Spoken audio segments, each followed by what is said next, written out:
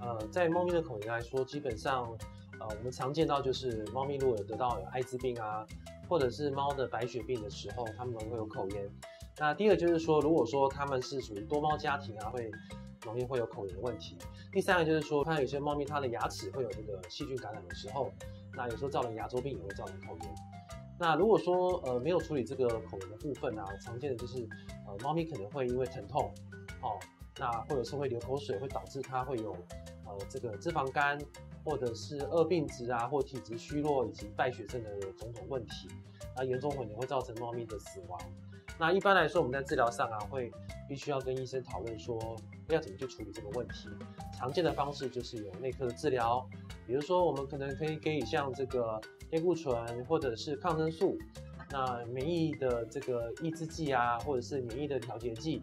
啊。另外就是说，在外科的部分，我们可以使用所谓的这个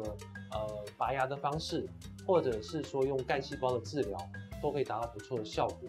在预防这个部分的时候，可以我们可以呃涂抹一些就是黏膜的这个修复剂，或者是说一些乳铁蛋白，以及就是说所谓的这个消毒剂来去控制猫咪的这个口炎发生。